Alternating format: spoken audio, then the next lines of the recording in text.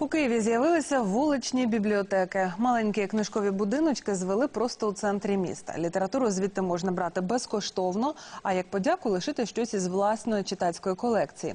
Такий книжковий рух прийшов до нас зі штатів. Як американська мода приживається в Україні? Олександра Казакова. Як пройти у бібліотеку? Це питання вже трохи застаріле. У часи електронної техніки до паперу звертаються все менше. Тому бібліотеці самій доводиться йти до людей. Підстерігає їх навіть у парку. Маленький будиночок схожий на шпаківню, але всередині пожива не для птахів, а для розуму. Книги нові, старі з малюнками «Бери не хочу» читають прямо на сусідніх лавках. Багато хто бере додому, потім повертає. Тут, у вуличній бібліотеці, книжковий обмін ніхто не контролює. Все на чесному слові. Людям доверять. А, Несколько дней книги здесь находятся, и они постоянно меняются, их выполняют. Какую-то охрану устраивать или слишком сильно внимательно к этому относиться не стоит. То есть стоит больше радоваться, ділитися і не боятися. Спочатку сюди поклали близько півсотні книжок. За кілька днів після відкриття більшу частину люди розібрали, але принесли ще більше. Сьогодні принесла. Буду завтра теж здесь, принесу еще.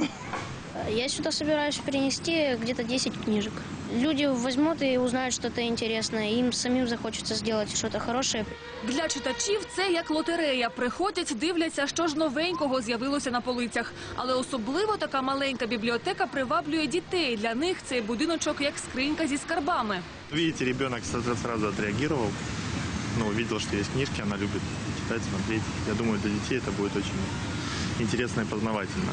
Уперше такі книжкові хатинки з'явилися в Америці. Їхній винахідник тоді і уявити не міг, що створює всесвітній рух. Знаєте, як люди тішаться, коли бачать цуценя чи маленьку дитину. Отак вони реагували і на нашу першу маленьку безкоштовну бібліотеку. Як зворушливо, як гарно. Я був просто у захваті від цього. Книжкові будиночки так сподобалися людям, що одразу пішли гуляти світом. У Штатах таких бібліотек уже сотні, а от в Україні це поки перша ластівка. Але буде більше переконані читачі, адже книжки не створені для того, щоб вкриватися пилом на полицях. Олександр Казакова, Олексій Шматов. Новини телеканал Інтер.